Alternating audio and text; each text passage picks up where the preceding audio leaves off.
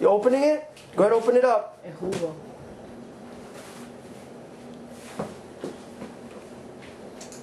Everybody, what's up? It's your boy SneakGeekZ from SneakGeekz.com coming at you with another webisode, sneaker webisode of my latest pickup. So I'm gonna open this up real quick, right? I got this box in, it just came in, and I just wanna open it up. And you saw I was opening it up. I was letting my son open it. He's gonna give me a hand here, opening it, opening it up.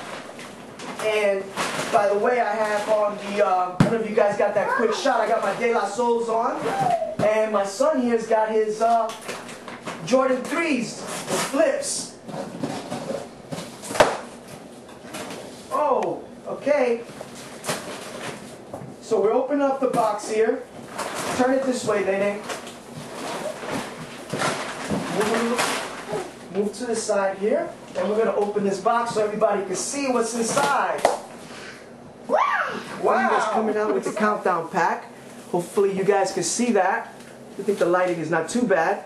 So um, this one's a size 9 and it looks a little looks a little long, right? The shoe looks a little long.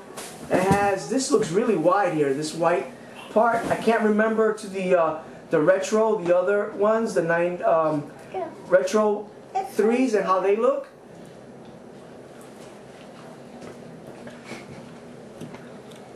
As you can see everyone, there it is. You got your cement print. It goes your back. You got your Nike Air.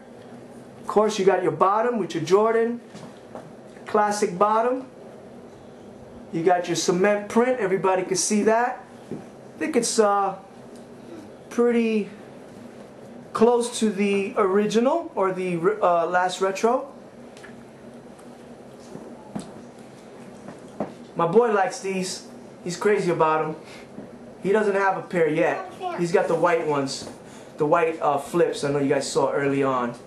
And that's it, everybody. That's a quick shot of that shoe. Um, you know what? I'm going to show you one other thing while I'm here. I'm going to do a quick, um, show you something else. Okay, everyone. What I wanted to do was show you a quick comparison with the Fusion which I haven't showed you guys yet. And I want to do a more detailed uh, review of the Fusion uh, Cement 3. So you see there, you got the two shoes. And move the laces over to the side. Okay. That's that side. And then the other side. You see those right? You know, the bottom, you know, the Fusion's got the Air Force One bottom.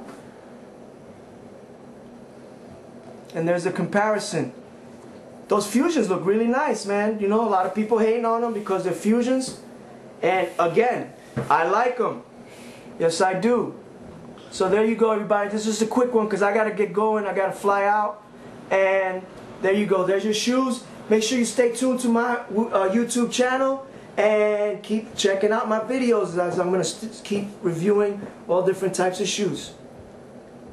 Alright everybody, that's it. Later.